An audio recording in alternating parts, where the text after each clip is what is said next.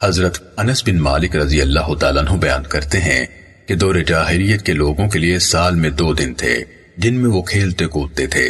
जब नबी सल्लल्लाहु अलैहि वसल्लम मदीने मुनव्वरा तशरीफ़ लाए तो आपने फरमाया, तुम्हारे लिए दो दिन थे, जिनमें तुम खेला कूदा करते थे। अब अल्लाह ताला ने तुम्हें उनके बजाय दो अच्छे दिन दे दिए हैं। एक ईद उल फितर का दिन और एक ईद उल अजहा का दिन। सुनने नसाई हदीस नंबर एक हज़ार पाँच सौ सतावन हज़रत अबू उमैर बिन अनस अपने चचाओं से बयान करते हैं कि कुछ लोगों ने ईद का चाँद देखा, मगर नबी सल्लल्लाहु अलैहि वसल्लम को बर वक्त इत्तला न मिल सकी और आम लोगों ने रोजा रख लिया। फिर वो नबी सल्लल्लाहु अलैहि वसल्लम के पास आए और इत्तला की। तो आप सल्लल्लाहु अलैहि वसल्लम ने लोगों को दिन चढ़ाने के बाद रोजा खोलने का और अगले दिन नमाज़ ईद के लिए निकलने का हुक्म दिया। सुनने नसाई, हदीस नंबर एक हज़ार पाँच सौ अठावन। हज़रत हफ्सा बिनते सिरीन से रिवायत है कि हज़रत उम्मे अतिया रज़ी अल्लाह तहा जब भी रसूलुल्लाह सल्लल्लाहु अलैहि वसल्लम का ज़िक्र करती थी तो बी अबा, यानी मेरा बाप, आप पर फिदा हो जाए, ज़रूर कहती थी। एक दफ़ा मैंने उनसे कहा, क्या आपने रसूलुल्लाह सल्लल्लाहु अलैहि वसल्लम को ऐसे ऐसे यानी ईदैन में औरतों के बाहर जाने के बारे में फरमाते सुना है तो उन्होंने कहा हाँ बी अबा आप सल्लल्लाहु अलैहि वसल्लम ने फरमाया, बालिग और पर्दा नशीन हत्ता के हैज़ वाली औरतें भी बाहर ईद के लिए जाएँ और नमाज़ ईद और मुसलमानों की दुआ में शरीक हों। अलबत्ता, हैज़ वाली औरतें नमाज़ वाली जगह से अलग बैठी रहें।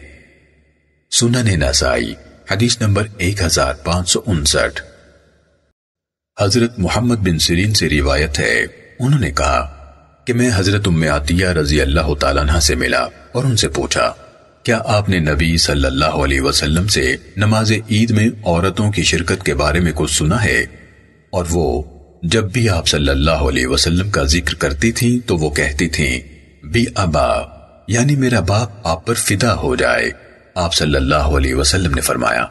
बालिग और पर्दा नशीन औरतों को भी ईद में साथ लेकर जाओ, ताकि वो भी इस नेकी और मुसलमानों की दुआ में शरीक हों।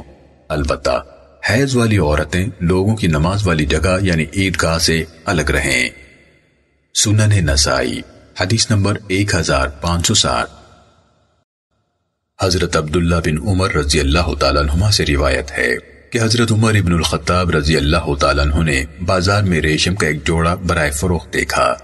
वो उसे लेकर रसूलुल्लाह सल्लल्लाहु अलैहि वसल्लम की खिदमत आलिया में हाजिर हुए और गुजारिश की ए अल्लाह के रसूल, इसे खरीद लें और ईद और वफू से मुलाकात के मौके पर जैबतन फरमाया करें। रसूलुल्लाह सल्लल्लाहु अलैहि वसल्लम ने फरमाया, ये रेशम तो उन लोगों का लिबास है जिनका आखिरत में कोई हिस्सा नहीं। या फरमाया, इसे तो वो लोग पहनते हैं जिनको आखिरत में कुछ नहीं मिलेगा। कुछ अरसा जितना कि अल्लाह ताला ने चाहा। हज़रत उमर रज़ी अल्लाह तु ठहरे रहे। फिर रसूलुल्लाह सल्लल्लाहु अलैहि वसल्लम ने हज़रत उमर रज़ी अल्लाह तु के पास रेशम का एक जुब्बा भेजा।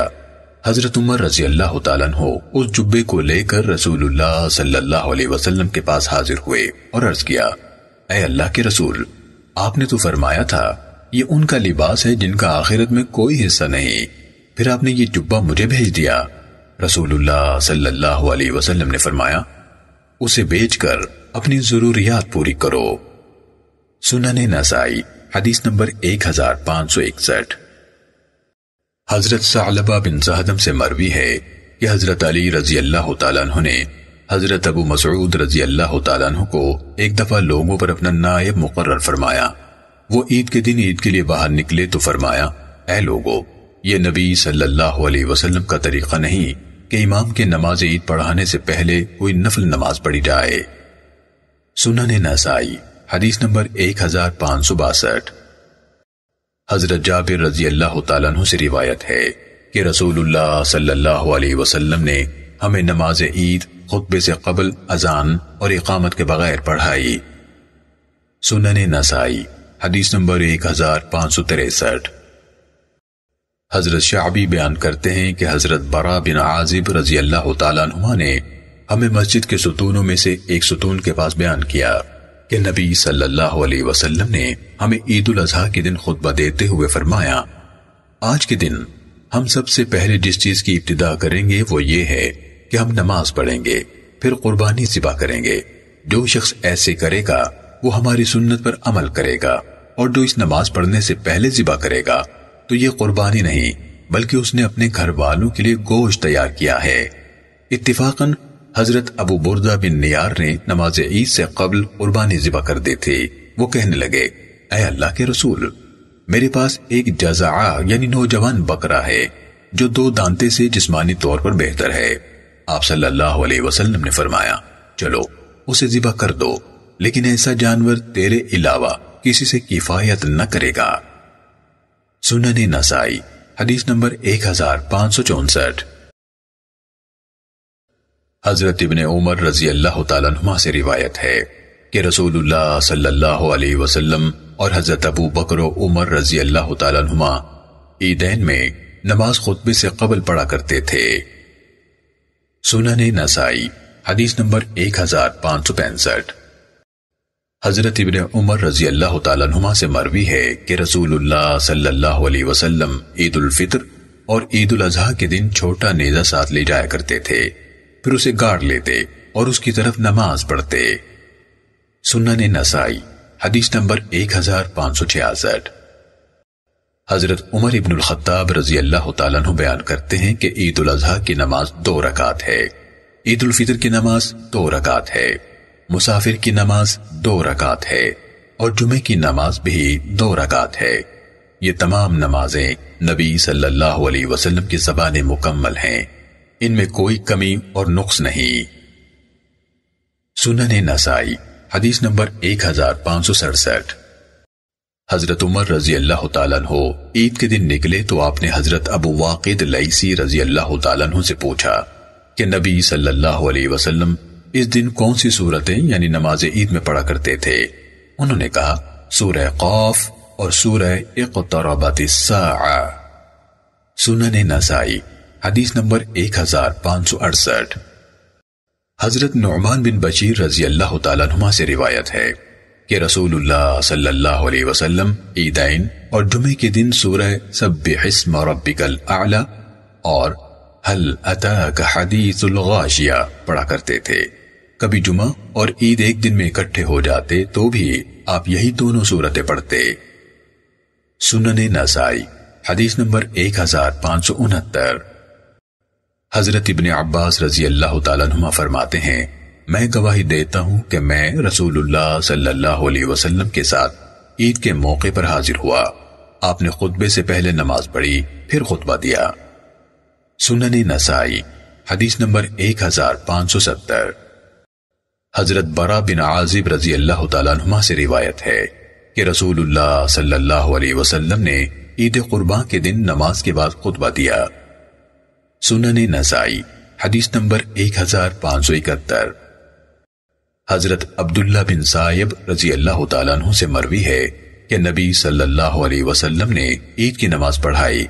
फिर फरमाया, जो आदमी जाना चाहे वो जा सकता है। और जो खुतबा सुनने के लिए ठहरना चाहता है, वो ठहरे।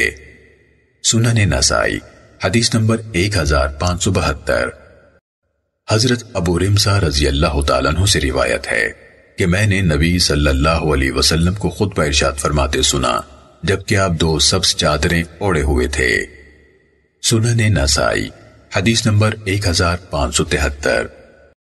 हज़रत अबू कामिल अहमसी रज़ी अल्लाह तु से मनकूल है। फरमाते हैं, मैंने रसूलुल्लाह सल्लल्लाहु को ऊंटनी पर सवार खुद बरसात फरमाते देखा, जबकि एक हबशी यानी सैदना हज़रत बिलाल रज़ी अल्लाह तु ने ऊंटनी की मुहार थाम रखी थी। सुनन नसाई, हदीस नंबर एक हज़ार पाँच सौ चौहत्तर। हज़रत सीमाक ने कहा कि मैंने हज़रत जाबिर रज़ी अल्लाह तु से पूछा क्या रसूलुल्लाह सल्लल्लाहु अलैहि वसल्लम खड़े होकर खुतबा इरशाद फरमाते थे? उन्होंने फरमाया, रसूलुल्लाह सल्लल्लाहु अलैहि वसल्लम खड़े होकर खुतबा इरशाद फरमाते थे, फिर कुछ देर बैठते, फिर खड़े हो जाते। सुनन नसाई, हदीस नंबर एक हज़ार पाँच सौ पचहत्तर। हज़रत जाबिर रज़ी अल्लाह तु बयान करते हैं कि मैं रसूलुल्लाह सल्लल्लाहु अलैहि वसल्लम के साथ ईद की नमाज़ में हाजिर हुआ। आपने बगैर अजान और इकामत के खुतबे से पहले नमाज़ ईद पढ़ाई। जब आपने नमाज़ पूरी फरमाई तो बिलाल के कंधे पर हाथ रखकर खड़े हो गए। अल्लाह ताला की हमदो सना की। लोगों को वाजु नसीहत करते हुए उन्हें अल्लाह और रसूल की इताअत की तलकीन फरमाई। फिर आप एक तरफ़ से होकर औरतों की तरफ़ गए। बिलाल रज़ी अल्लाह तु बदस्तूर आपके साथ थे। आप सल्लल्लाहु अलैहि वसल्लम ने उन औरतों को अल्लाह ताला से डरने का हुक्म दिया। और उन्हें वाजो नसीहत फरमाई। अल्लाह ताला की हमदो सना की और उन्हें अल्लाह और रसूल के इताअत की रगबत दिलाई। फिर फरमाया, ऐ औरतों, सदका करो, क्योंकि अक्सर औरतें जहन्नुम का ईंधन बनेगी। तो एक स्याह बटियाले रुखसारों वाली आम सी औरत ने कहा ए अल्लाह के रसूल, क्यों? आप सल्लल्लाहु अलैहि वसल्लम ने फरमाया, तुम शिकवे शिकायत ज़्यादा करती हो और खावन की नाशुक्री करती हो। औरतें अपने हार, बालियाँ और अंगूठियाँ उतार कर बतौर सदका। हज़रत बिलाल रज़ी अल्लाह तु के कपड़े में डालने लगी, ताकि वो बैतुल माल में जमा करवा दें। सुनन नसाई, हदीस नंबर एक हज़ार पाँच सौ छिहत्तर। हज़रत अबू सईद खुदरी रज़ी अल्लाह तु से मरवी है कि रसूलुल्लाह सल्लल्लाहु अलैहि वसल्लम ईद उल फितर और ईद उल अजहा में ईद का तशरीफ़ ले जाते और लोगों को नमाज़ पढ़ाते। जब दूसरी रकात के बाद बैठकर सलाम फेरते तो लोगों की तरफ़ मुँह करके खड़े हो जाते। सब लोग अपनी अपनी जगहों पर बैठे रहते। अगर आप लश्कर भेजने की ज़रूरत महसूस फरमाते तो लोगों के सामने ज़िक्र फरमाते, वरना लोगों को सदका वगैरह करने का हुक्म देते, तीन दफ़ा फरमाते, सदका करो। तो सदका करने वाली अक्सर औरतें ही होती सुनने नसाई, हदीस नंबर एक हज़ार पाँच सौ सतहत्तर। हज़रत अबू हुरेरा रज़ी अल्लाह तु से रिवायत है। रसूलुल्लाह सल्लल्लाहु अलैहि वसल्लम ने फरमाया, जब तूने इमाम साहब के खुतबे के दौरान में अपने साथी को जबान से कहा, चुप रह तो तूने भी फजूल काम किया। सुनने नसाई, हदीस नंबर एक हज़ार पाँच सौ अठहत्तर। हज़रत जाबिर बिन अब्दुल्ला रज़ी अल्लाह तुमा फरमाते हैं कि रसूलुल्लाह सल्लल्लाहु अलैहि वसल्लम अपना खुतबा यूँ शुरू फरमाते कि पहले अल्लाह ताला की हमदो सना बयान फरमाते, जो अल्लाह ताला की शान गिरामी के लायक है, फिर फरमाते, जिसे अल्लाह ताला राह रास पर ले आए, उसे कोई गुमराह करने वाला नहीं, और जिसे अल्लाह ताला गुमराह कर दे, उसे कोई राह रास पर लाने वाला नहीं। बिलाशुबा, सबसे ज़्यादा सच्ची बात अल्लाह ताला की किताब है, और बेहतरीन तरीका मोहम्मद सल्लल्लाहु अलैहि वसल्लम का तरीका है, और बदतरीन काम वो है, जिन्हें शरीयत में अपनी तरफ़ से जारी किया गया। हर ऐसा काम बिदात है, और हर बिदात गुमराही है, और हर गुमराही आग में ले जाएगी। फिर आप फरमाते, मुझे और कयामत को इन दो उंगलियों, यानी उंगुश्त शहादत और साथ वाले की तरह मिलाकर भेजा गया है। आप जब कयामत का ज़िक्र फरमाते तो आपके रुखसारे मुबारक सुर्ख हो जाते, आवाज़ बुलंद हो जाती, और गुस्से के आसार चेहरे पर नुमाया हो जाते। यूँ लगता है जैसे आप किसी लश्कर से डरा रहे हैं। यानी उसके हमले की खबर दे रहे हैं कि तुम पर सुबह हमला कर देगा या शाम को। फिर फरमाते, जो शख्स माल छोड़ जाए, वो तो उसके रिश्तेदारों को मिलेगा, और जो आदमी कर्ज या छोटे छोटे बच्चे जिनके जाया होने का खतरा है छोड़ जाए तो वो मेरे सुपुर्द होंगे, और उनके अखराज और कर्ज वगैरह की अदायगी मेरे जिम्मे होगी, क्योंकि मोमिन से मेरा ताल्लुक और रिश्ता तमाम रिश्तों से कवी और मज़बूत है। सुनने नसाई। हदीस नंबर एक हज़ार पाँच सौ उनासी। हज़रत अबू सईद रज़ी अल्लाह तु से रिवायत है, रसूलुल्लाह सल्लल्लाहु अलैहि वसल्लम ईद के दिन बाहर तशरीफ़ ले जाते, दो रकाते पढ़ते, फिर खुतबा इरशाद फरमाते और सदक़े का हुक्म देते। अक्सर औरतें ही सदका करती। अगर कोई ज़रूरत पेश होती या लश्कर भेजना मकसूद होता तो उससे मुतालिक कलाम फरमाते, वरना वापस तशरीफ़ ले आते। सुनन नसाई। हदीस नंबर एक हज़ार पाँच सौ अस्सी। हज़रत बरा रज़ी अल्लाह तु फरमाते हैं कि हमें रसूलुल्लाह सल्लल्लाहु अलैहि वसल्लम ने कुर्बानियों वाले दिन नमाज़ ईद के बाद खुतबा इरशाद फरमाया। फिर फरमाया, जिस शख्स ने हमारी नमाज़ की तरह नमाज़ पढ़ी और हमारी तरह नमाज़ के बाद कुर्बानी की, उसकी कुर्बानी सही है। लेकिन जिसने नमाज़ ईद से कबल कुर्बानी जिबा कर दी तो ये गोश्त खाने के लिए बकरी जिबा की गई है। कुर्बानी नहीं। हज़रत अबू बुरदा बिन नियार रज़ी अल्लाह तु कहने लगे ए अल्लाह के रसूल, वल्ला, मैंने तो नमाज़ ईद के लिए आने से कबल ही कुर्बानी जिबा कर दी है। मैंने सोचा कि आज खाने पीने का दिन है, इसलिए मैंने जल्दी की। खुद भी गोश्त खाया, अहलो अयाल और पड़ोसियों को भी खिलाया। रसूलुल्लाह सल्लल्लाहु अलैहि वसल्लम ने फरमाया, ये तो गोश्त के लिए बकरी जिबा की गई है। उन्होंने कहा, मेरे पास एक बकरी की किस्म से मोटा ताज़ा जजा है। जो गोश्त के लिहाज से दो बकरियों से बेहतर है, मगर वो दो दांता नहीं, छोटा है। तो क्या वो मेरी तरफ़ से किफायत कर जाएगा? अगर मैं उसे जिबा कर दूँ। आप सल्लल्लाहु अलैहि वसल्लम ने फरमाया हाँ लेकिन ये तेरे अलावा किसी से किफायत नहीं करेगा। सुनन नसाई, हदीस नंबर एक हज़ार पाँच सौ बयासी। हज़रत जाबिर बिन सामुरा रज़ी अल्लाह तु बयान करते हैं कि मैं नबी सल्लल्लाहु अलैहि वसल्लम के साथ नमाज़ पढ़ा करता था। आपकी नमाज़ भी दरमियानी होती थी और खुतबा भी दरमियाना होता था। सुनन नसाई, हदीस नंबर एक हज़ार पाँच सौ तरासी। हज़रत जाबिर बिन सामुरा रज़ी अल्लाह तु से रिवायत है कि मैंने रसूलुल्लाह सल्लल्लाहु अलैहि वसल्लम को देखा है कि आप पहले खड़े होकर खुतबा इरशाद फरमाते, फिर थोड़ी देर के लिए बैठ जाते और उस दौरान में कोई तकरीर या बातचीत न करते, फिर खड़े हो जाते और दूसरा खुतबा इरशाद फरमाते। लिहाजा जो शख्स तुझे बताए कि नबी सल्लल्लाहु अलैहि वसल्लम बैठकर खुतबा देते थे, उसकी तस्दीक न कर। सुनने नसाई, हदीस नंबर एक हज़ार पाँच सौ चौरासी। हज़रत जाबिर बिन समूरा रज़ी अल्लाह तु फरमाते हैं कि नबी सल्लल्लाहु अलैहि वसल्लम खड़े होकर खुतबा इरशाद फरमाते, फिर बैठ जाते, फिर खड़े हो जाते और चंद आयात तिलावत फरमाते और अल्लाह की बातें ज़िक्र फरमाते। आपका खुतबा भी दरमियाना होता और नमाज़ भी। सुनने नसाई, हदीस नंबर एक हज़ार पाँच सौ पचासी। हज़रत बुरैदा रज़ी अल्लाह तु से मरवी है कि एक दफ़ा रसूलुल्लाह सल्लल्लाहु अलैहि वसल्लम मिंबर पर खुतबा इरशाद फरमा रहे थे कि हसन और हुसैन रज़ी अल्लाह सामने आ गए। उन्होंने सुर्ख कमीजें पहन रखी थी। वो चलते थे तो कमीजों की वजह से लड़खड़ाते थे, यानी गिरते पड़ते आ रहे थे। आप मिंबर से उतरे, उन्हें उठाया और फरमाया, अल्लाह ताला ने सच फरमाया है इन नमा अमवालुकुम व औलादुकुम फितना। तुम्हारे माल और औलाद तुम्हारे लिए आजमाइश हैं। मैंने इन्हें देखा कि अपने कमीजों में गिरते पड़ते आ रहे हैं तो मैं सब्र न कर सका, हत्या कि मैं मिंबर से उतरा और इन्हें उठाया। सुनने नसाई, हदीस नंबर एक हज़ार पाँच सौ छियासी। हज़रत अब्दुलरहमान बिन आबिद से रिवायत है कि एक आदमी ने हज़रत इबन अब्बास रज़ी अल्लाह तुमा से कहा, क्या आप कभी रसूलुल्लाह सल्लल्लाहु अलैहि वसल्लम के साथ ईद के लिए बाहर गए थे?